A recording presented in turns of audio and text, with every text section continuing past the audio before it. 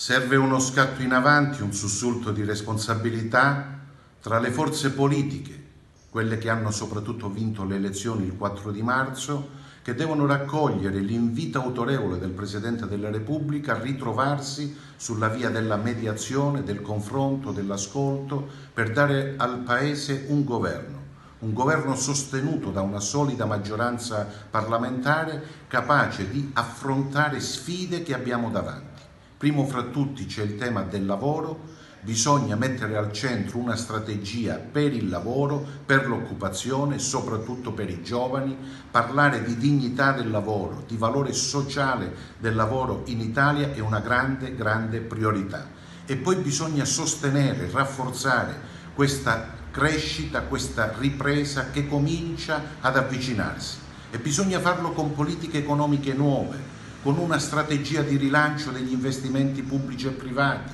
con una riforma del sistema fiscale che riduca il peso delle tasse sui cittadini, sulle famiglie, sui lavoratori, sulle imprese. Bisogna darsi una strategia strutturata di rilancio della politica industriale, bisogna fare grandi investimenti sulle infrastrutture e poi bisogna mettere in campo politiche di vera coesione nazionale per ridurre i divari sociali, economici, produttivi, occupazionali tra nord e sud del Paese. Questa è una delle priorità che la CISL avanza al nuovo governo che verrà.